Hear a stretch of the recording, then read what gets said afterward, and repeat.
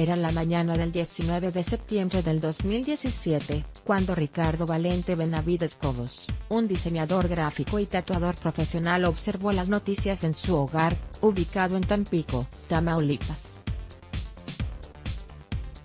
Las imágenes en las televisoras eran solo el viejo recuerdo del sismo de 1985, sin embargo, cuando Ricardo llegó a su trabajo en el estudio Black Sheep de tatuajes, sus compañeros no podían creer que otro temblor, 32 años después, devastó a gran parte del país.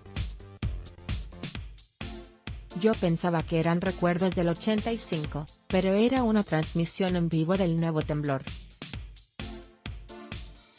La imagen de un tatuaje con la figura de la perrita Frida se volvió viral en redes, foto. Ricardo Valente de inmediato una adrenalina recorrió sus venas para ayudar a los damnificados, idearon una estrategia para apoyar a las familias que perdieron sus hogares mediante la creación de tatuajes a cambio de despensas. Decidimos hacer una convocatoria para recolectar víveres a cambio de un tatuaje pequeño.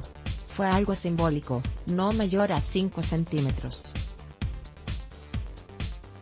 convocamos a través de Facebook y muchas personas asistieron. Intercambio de productos por tatuajes.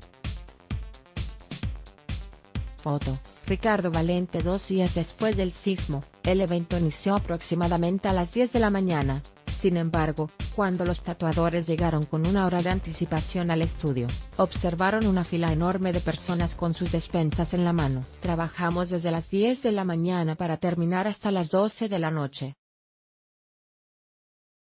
En el transcurso del día, una persona dijo que quería tatuarse a la perrita Frida, para mí fue un honor, como eran tatuajes sencillos, solo realicé la silueta.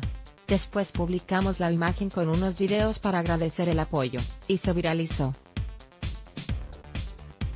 Aproximadamente, se dibujaron unos 120 tatuajes, pero solo una persona se grabó la imagen de la perra rescatista Frida quien durante el sismo fue el símbolo del rescate y apoyo de la ciudadanía. Los tatuajes que ofrecieron debían ser sencillos para realizar una mayor cantidad.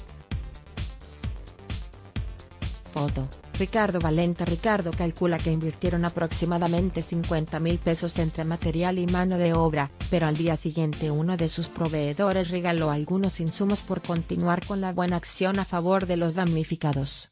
En la colecta, cada persona intercambió una despensa de un valor mayor a 200 pesos a cambio de un tatuaje simbólico. Los víveres fueron enviados directamente desde Tampico a Oaxaca mediante la iniciativa de varios coleccionistas de bochos Volkswagen, quienes rentaron unos 5 trailers para entregar las despensas. No pude ir en persona, porque varios me agendaron bastantes citas al día siguiente, pero recibí muchos mensajes positivos.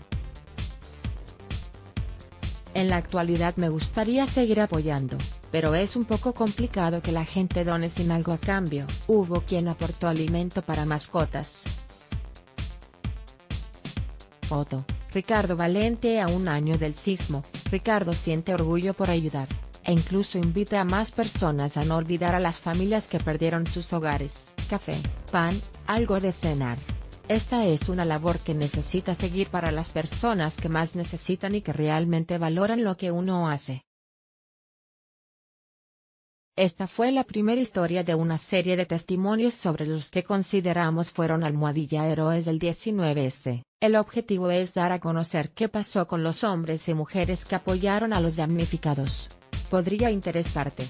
Jorge vendió su colección de Tortuga Ninja para apoyar a los damnificados del sismo así es como las reclusas tejen fridas desde los penales para apoyar a los damnificados del sismo silencio.